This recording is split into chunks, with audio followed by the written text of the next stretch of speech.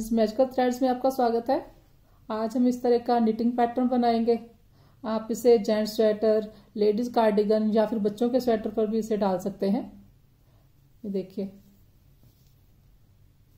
ये इसकी back side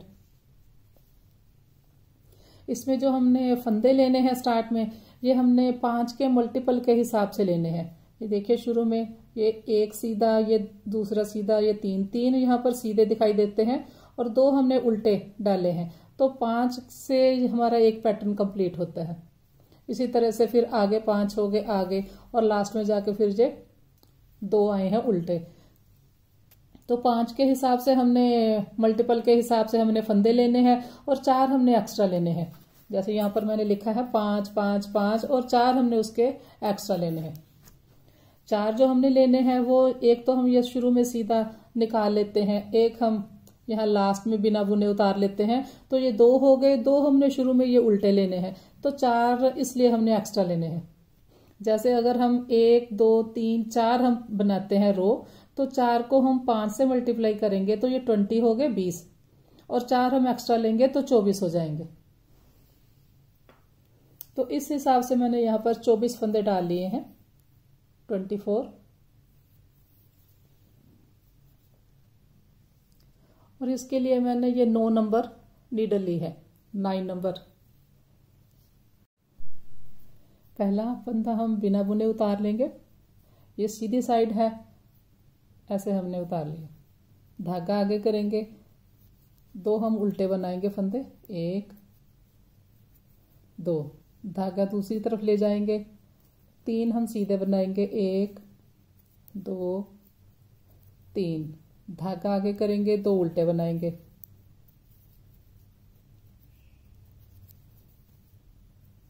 धागा दूसरी तरफ़ ले जाएँगे और तीन हम सीधे बनाएँगे। तो इसी तरह से रो कंप्लीट करेंगे, दो उल्टे बनाएँगे, तीन सीधे बनाएँगे। तो लास्ट में आकर हमने दो उल्टे बनाने हैं। ये देखिए, ये दो उल्टे बनाए हमने। और ये राइट साइड है, सीधी साइड तो लास्ट वाला फंदा हमने सीधा बुन लेना है। तो दूसरी सिलाई में ये रोंग साइड है। तो उल्टी साइड है तो पहला फंदा हम इस तरह से उतार लेंगे। धागा आगे करेंगे।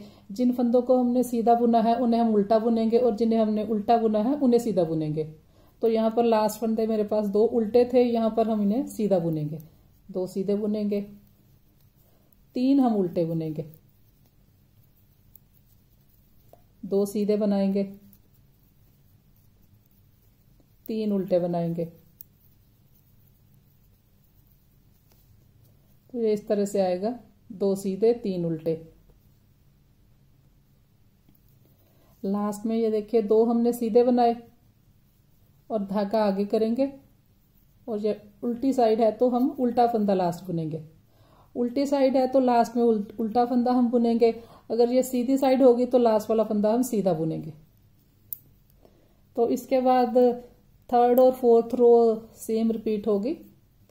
इसी तरह से बनाएँगे हम। पहला फंदा हम बिना बुने निकाल लेंगे।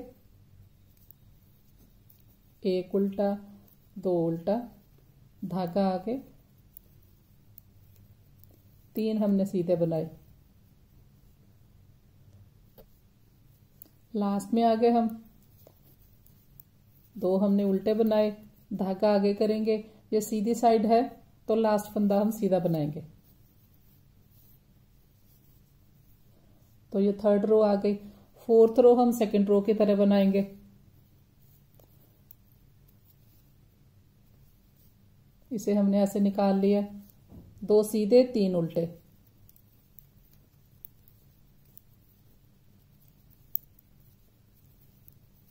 तीन उल्टे। धागा आगे ले जाएँगे और फिर दो सीधे बनाएँगे। लास्ट में जाकर हमने दो सीधे बनाए। धागा आगे करेंगे और ये उल्टा बनाएँगे। तो चार सिलाइयाँ होगी। चार सिलाइयों का ही ये पैटर्न है। अब हमने ये जो लूप हमने बनाया है, ये देखिए। ये। अब हम ये लूप बनाएँगे। ये दोनों साइड आया है। ये देखिए इस तरह से। पहला फंदा हम निकाल लेंगे इसी तरह से। दो उल्टे बनाएँगे। एक, दो। धागा दूसरी तरफ़ ले जाएँगे। तो अब हमने ये तीन है हमारे पास फंदे। जो सेंटर वाला है, सीधा फंदा। इसके आप देखिए यहाँ पर। ये पहला, ये दूसरा ये तीसरा। बीच में ये धागा दिखाई देता है तो धागे को गिनिए आप। एक पहला धागा है, दूसरा, तीसरा। तीसरे के नीचे हमने क्रोश नीडल डालनी है। और इस तरह से इसे सीधा बना लेना है। तो ये इस तरह से लंबा आ जाएगा फंदा हमारे पास। इसे हमने ऐसे छोटा करके नहीं बनाना, थोड़ा ऐसे खींच लेंगे तो ये लंबा हो जाएगा। इसके बाद हमने ये तीन सीधे हैं, तीनों को सीधा बना लेंगे। एक, दो तीन। और तीन बनाने के बाद सेम प्लेस पर जहाँ पर हमने पहले लूप बनाया है, वहीं पर हम नीडल डालकर यहाँ पर एक और बना लेंगे लूप तो ये लूप थोड़ा छोटा नहीं रहना चाहिए, इसे थोड़ा सा आप ऐसे खींच के ठीक कर दें। दोनों की लेंथ एक जैसी होनी चाहिए। धागा आगे ले जाएँगे, दो उल्टे बनाएँगे। फिर से देखिए ये जो हमारा एक, दो, तीन सीधे हैं सेंटर वाला है, जो हमारा उसके नीचे आप देखिए, ये वाला एक धागा है सेंटर में, ये दिखाई देता है। फिर ये दूसरा है, फिर ये थर्ड है। थर्ड के नीचे हमने नीडल डालकर हमने इसे लंबा फंदा बनाना है। फिर से ये तीन हम सीधे बनाएँगे।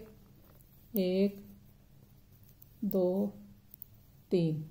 सेम प्लेस पर जहाँ हमने बनाया है, वहीं पर नीडल डालेंगे और एक बड़ा लूप बनाएँगे। तो ये देखिए, ये लंबा है, ये थोड़ा छोटा है लूप थोड़ा सा इसे ऐसे हम बराबर कर लेंगे।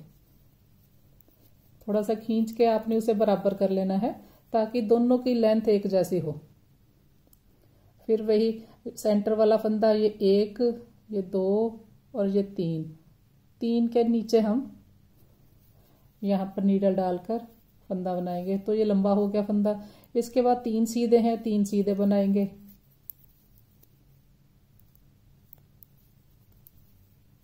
सेम प्लेस पर फिर से बनाएँगे। इसे थोड़ा सा हम ऐसे नीडल से खींच के बराबर कर देंगे। छोटा बड़ा फंदा नहीं होना चाहिए। दो उल्टे बनाएँगे और लास्ट तक इसी तरह से बनाएँगे। लास्ट फंदा हम सीधा बनाएँगे। तो इस तरह से हमारी सिलाई कंप्लीट हो गई। रॉन्ग साइड है। पहला फंदा हम बिना बुने निकाल लेंगे। फिर दो सीधे हैं। दो सीधे बनाएँगे। एक, दो। धागा आगे ले जाएँगे। ये जो हमने लूप बनाया था, ये देखिए, ये यहाँ से दिखाई देता है। इसे हमने ऐसे ही, ये देखिए, ऐसे निकाल लेंगे बिना बुने। फिर नेक्स्ट हमने तीन उल्टे बनाने हैं। फिर ये लूप आ गया। इसको हमने फिर से ऐसे निकाल लेना है, उल्टी साइड से। धागा आगे ले जाएँगे, दो सीधे बनाएँगे। धागा इस तरफ़। तो फिर से हम ये लूप लूप को हमने बनाना नहीं है, इसे हमने ऐसे ही निकाल लेना है। फिर हम तीन उल्टे बनाएँगे। एक, दो, तीन। फिर ये देखिए, ये लूप आ गया। लूप को हमने ऐसे निकाल लिया। धागा दूसरी तरफ़, दो सीधे। धागा आगे करेंगे तो इसी तरह से ये लास्ट तक बनेगा।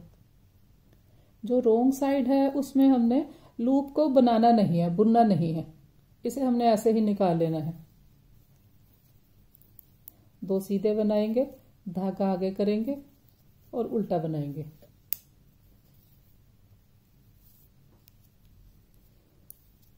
अब पहला फंदा हम बिना बुने निकाल लेंगे, उसके बाद दो उल्टे बनाएँगे, धागा दूसरी तरफ़ ले जाएँगे। अब हमने ये जो दो लूप हैं, इन्हें हमने यहाँ से, ये देखिए, इसे हम इस तरह से उठा लेंगे और ऐसे घुमा देंगे। अब हमने इसे और पीछे वाला जो है, पहला सीधा फंदा है, इन दोनों को लेकर हम एक बना देंगे। फिर नेक्स्ट सीधा हम बना लेंगे। सेकंड सीधा था जो तीन हमारे पास सीधे थे। एक हमने लूप के साथ बनाया, एक हमने वैसे बना लिया। अब हमने ये थर्ड ये देखिए थर्ड ये सीधा है और ये साथ में लूप है। तो इन दोनों को इकट्ठे लेकर ऐसे हमने बनाना है।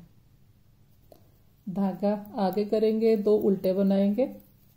फिर से देखिए, धागा हम दूसरी तरफ़ ले गए। ये जो पहला लूप है, बड़े वाला, इसे हमने ऐसे पकड़ के ऐसे घुमा लेना है। और जो पीछे सीधा फंदा है, उसके, उसको साथ लेकर ऐसे हमने दो का एक कर दिया। फिर हमने सीधा बना लिया। और ये जो लूप है हमारे पास, या इसको हमने नहीं घुमाना, हमने शुरू वाला घुमाना है और पीछे जो इसके लूप है, वो हमने नहीं घुमाना। उसे हम इसी तरह से बनाएँगे। ये देखिए। फिर हम दो उल्टे बनाएँगे। धागा दूसरी तरफ़ ले जाएँगे। इसे घुमा लेंगे।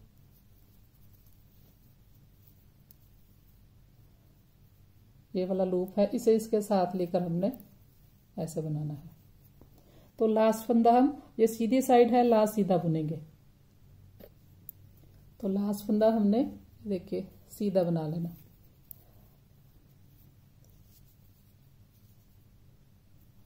और इसके बाद हमने सेम बनानी है, जो हम सेकंड रो बनाते हैं, पहला फंदा हमने बिना बुने उतार लिया। दो सीधे बनाएँगे। तीन उल्टे बनाएँगे। एक, दो, तीन, धागा दूसरी तरफ़। तो ये रो कंप्लीट हो गई मेरी रोंग साइड से। अब हमने ये फिर से लूप वाली रो बनानी है। पहला फंदा हमने निकाल लिया। धागा आगे करेंगे, दो उल्टे बनाएँगे। धागा दूसरी तरफ़ ले जाएँगे। तो अब हमने यहाँ से देखिए, ये बीच में धागे दिखाई देते हैं, जो सेंटर वाला, जो सीधा फंदा है। तो इसको हमने पहला मानना है। ये एक, दो और तीन। तीन के नीचे। यहाँ पर हम ऐसे लूप बना लेंगे। लूप को ऐसे लंबा कर लेंगे खींच के। इसके बाद हम तीन सीधे बनाएँगे। एक, दो, तीन। और फिर सेम प्लेस पर जहाँ पर हमने, ये देखिए, ये लूप बनाया है, उसी जगह पर हमने फिर से एक और बनाना है। तो ये देखिए, ये लंबा है, ये छोटा है, इसे हमने ऐसे नीडल से, सिलाई से थोड़ा ऐसे बड़ा कर लेना है। फिर दो उल्टे बनाएँगे। देखिए, एक, दो, तीन थर्ड के नीचे हमने लूप बनाना है। फिर तीन सीधे बनाएँगे। एक, दो तीन। और फिर से हम सेम प्लेस पर लूप बनाएँगे।